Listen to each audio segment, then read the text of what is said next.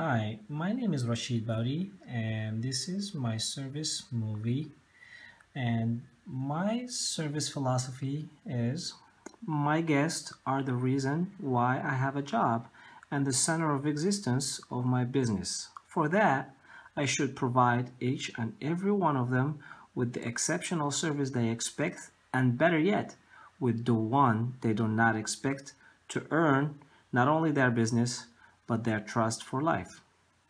My not so service philosophy is go to work, do your job, do exactly what the guest asked for, and nothing more than that. Happy or unhappy guest makes no difference as long as you earn their money for that given day. Tomorrow, you will have different guests who will make your day's earning. So why worry anyways?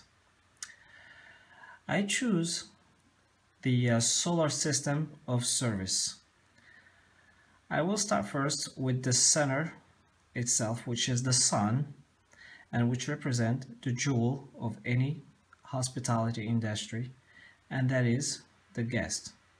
Without a guest, we would never have a business. We should always look up to our guests and make sure that all their needs are and expectations are met and exceeded no matter what. This is the first and the biggest priority. So how do we make sure that this happens every time and all the time? The answer is that we have to surround or better yet orbit our sun by the different elements that will ornament and make it shiny forever so that we have a complete system. The first element or the first planet in our service system would be Mercury, which is the smallest planet in the system. This relates to attention to small details. Small things can get neglected by some. Always make big impressions on the guest when implemented by others. The second element would be the planet Venus. It has mountains and volcanoes that spray. I compare this planet to enthusiasm, just like Venus, spraying volcanoes. When you put your enthusiasm in display, spraying your guest with it, your guest will respond to you the same way enthusiasm is contagious. The third element or the third planet would be Earth. This is the livable planet that is full of life and beauty. This is how the infrastructure of the business should be. We should provide our guests with the most desirable environment that completes the excellent service provided. The next element or planet will be planet Mars. This is the only planet that has two moons. This planet compares to the caring leader who should have two important aspects which are his commitment to task with means which means great focus on achievement.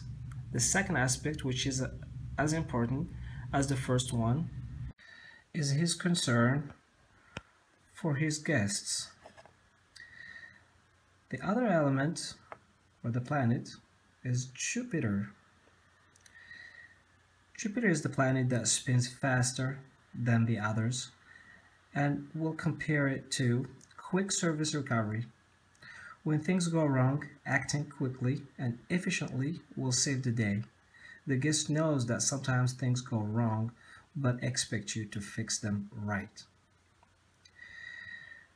The next planet would be Saturn, which has a beautiful ring around it made up of billions of rocks, dust, and other things. I would call it unique. A unique or unequal service is what differentiates us from our competition.